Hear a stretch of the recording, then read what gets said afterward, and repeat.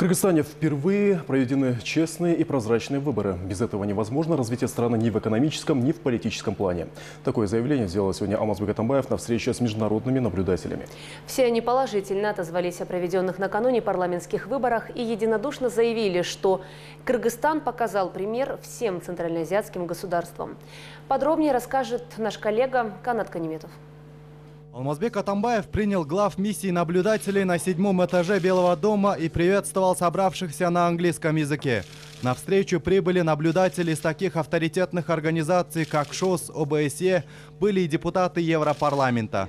По тону и настроению Атамбаева стало понятно, проведенными выборами он остался доволен. Не буду скрывать, несколько дней до выборов я не спал от переживаний. Эту ночь я не спал практически от счастья, потому что сбылась моя мечта. Для меня проведение честных и справедливых выборов было э, глубоко личным делом. Про личное Атамбаев вспомнил не зря. В 2009 году летом в Балыкчи во время президентских выборов были арестованы 19 его сподвижников, которых впоследствии осудили. Как выяснилось позже, эти люди выступали против фальсификации массового вброса бюллетеней в урны. И через 6 лет в Кыргызстане впервые проходят чистые выборы. Это казалось невозможным, признался Атамбаев. Сегодня один из самых счастливых дней в моей жизни, потому что по всей стране, ни в одном регионе, ни в одном районе, ни в одном городе, ни в одном селе сегодня не было ни одного митинга, ни одного протестующего человека. Что, конечно же, говорит об итогах выборов, о качестве этих выборов, и что, конечно же, удивительно для нашей страны, что казалось буквально недавно невозможным в нашей стране. Казалось невозможным в нашей стране. Без биометрической системы можно только мечтать о выборах без фальсификации, но и вводить ее было весьма и весьма сложно. Подготовка к этим выборам на базе с применением новых технологий, она сопровождалась истерией со стороны ряда НПО, со стороны ряда политиков и партий страны.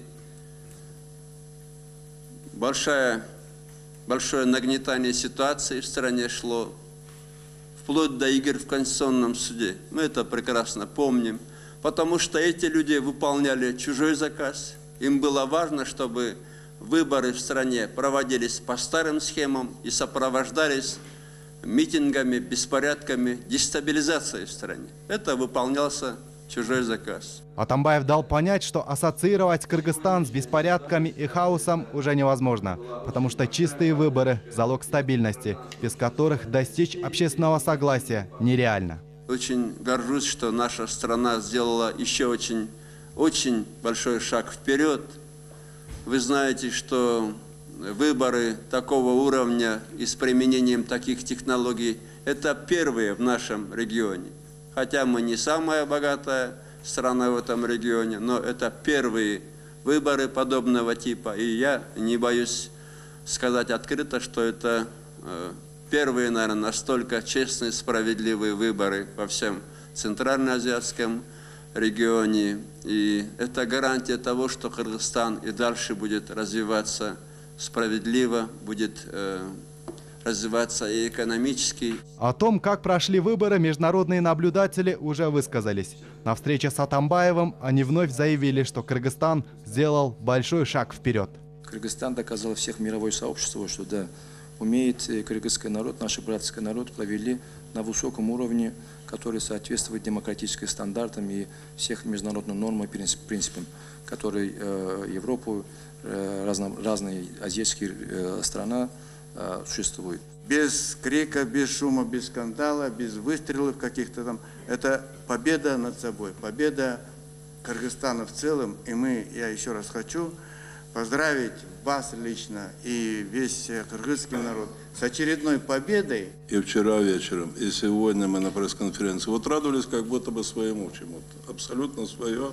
То есть приняли это как э, огромный успех, огромное достижение. Безусловно, мы констатируем, что это были самые честные, справедливые и прозрачные выборы. Такой же позиции придерживаются и европейские депутаты, представители ОБСЕ. Это был своего рода эксперимент э, для вас, э, внедрение новой технологии, оборудования. Такого нет даже у нас в Германии, но я должен сказать, э, аппаратура работала очень хорошо, и мы могли наблюдать в некоторых отдаленных избирательных участках, как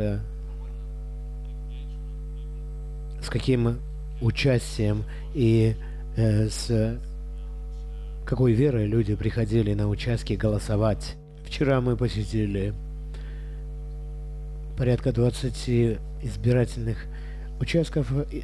Особых э, нарушений мы не заметили, ну какие-то процеду... за исключением процедурных моментов.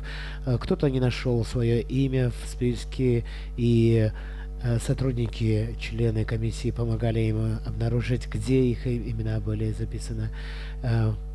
Выборы прошли мирно, честно и в целом. И таким образом Кыргызстан, народ Кыргызстана смогли они и реализовать свои демократические права. Мы считаем, что эти выборы, они явятся подспорьем для дальнейшей демократизации Впереди президентские выборы. Атамбаев надеется, что и они пройдут так же, как и парламентские. Перед тем, как попрощаться с наблюдателями, глава государства попросил их сфотографироваться с ним на память. Канат Кадиметов, Алтынхан Бабаев, Общественный первый канал.